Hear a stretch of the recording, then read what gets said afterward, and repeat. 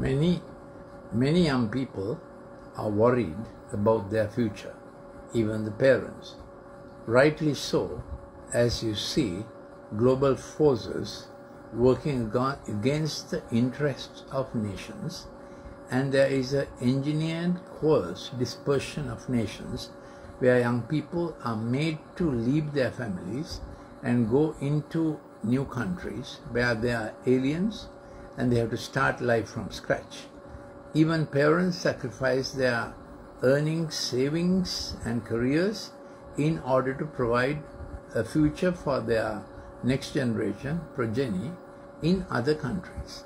This is an engineered process, this is a planned process to disrupt families, disrupt nations, so that nations become weaker. And the scriptures tells us there's a person who makes nations weak and who works against the creator, the Father in heaven who made the nations. Now you might think languages are the problem. But there was a time when there was one language, the powerful Nephilim, the global elite of the time, this must have been about 2400 BC, they got together and the oligarchy began to rule the majority and said, build a tower that will reach to the heavens for the sake of our name and our power and our majesty. So when all were together, there were a few who became very powerful and ruled the rest. So to prevent this happening, that God made the nations into classrooms, that in every classroom, with their own language, they look after their own people, rather than all the world's resources will go under the global Nephilim, the global Plutarchs, the oligarchs. So now what has happened is the global Plutarchs are, have planned in every nation to find uh, those who will play ball with them, give them power, give them wealth, the, the, those who may recruit from the nations in order to sell the nation's resources to the global elite and make vassal nations slaves in a pharaoh system. In a time like this, God has a promise in Psalm 1. He tells us, such is the counsel of those people, such is the way that is being planned, such are the seats of scoffers who don't recognize God's design of benevolence and they want to rule the world with force. And Darwin's evolution fits the billet uh, so that this, there's a struggle for existence and the might are right and the fittest survive. That's how it's going. But the Lord has provided for us the word of the Lord. So he promises, Blessed is the man who does not walk in the counsel of the ungodly, nor stands in the way of sinners, nor sits in the seat of the scornful, but his delight is in the law of the Lord.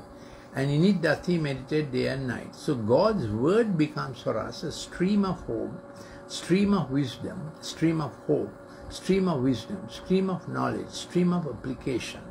It begins to run through our life as we daily read God's word.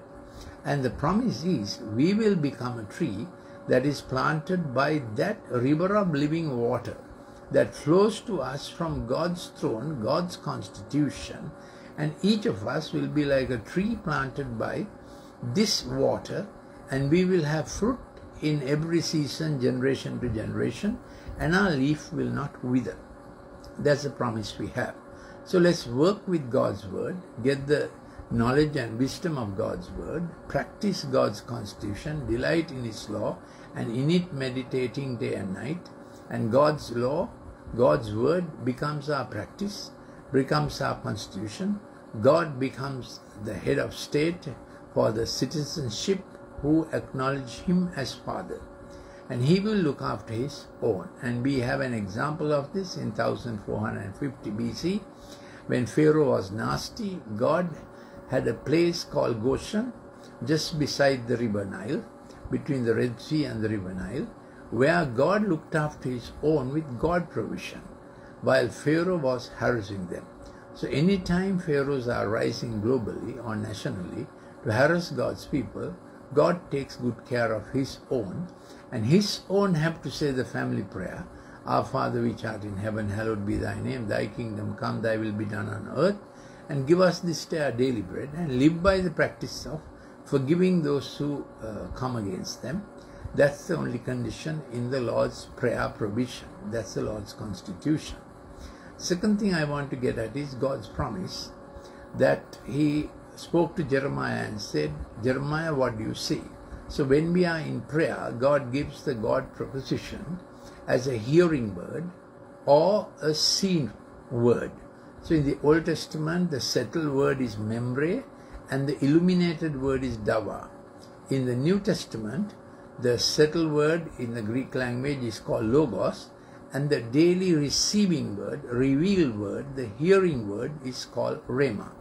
So when we receive that portion of God's word that we are reading, apply it to our daily life, it becomes the operative power in our life. The word of God that powerfully works in us. So God's promise, Ephesians 3.20, God is able to do exceedingly abundantly more than what we think or ask. Sometimes we may not think well for ourselves. Our past misgivings, failures may speak against us in our own insight, but God works exceedingly and abundantly more than what we ask or what more than what we think for ourselves. God thinks his best. God's scope for us according to the power that's working inside us. What's the power working inside us? Power of his word and the presence of Christ in us. This works in us and God works into the outside circumstances to give us the best. So Jeremiah was asked, What do you see? Jeremiah said, I see the almond branch. So it was winter time, and Jeremiah was seeing an almond branch, God promising that winter will turn into the hope of spring. During spring, it's the almond tree that first blooms, buds, and so out of a winter of discontentment, of uh, you know going down, Jeremiah was told, "Tell my people that you have a new hope, a good hope." So the application is when you read God's word and the word is working in you, you will have a vision, you will have a hearing, you will have a seeing of God's word, and God says, I will perform this work for you, word for you. Jeremiah 1.12. What Jeremiah saw as God's word, God said, I will watch over my word to perform for you. My question for you is, what is the last word that you had from God? This is not about you going to a man of God and him laying hands on you and telling something. This is about you listening to your God and your God speaking to you from his written word.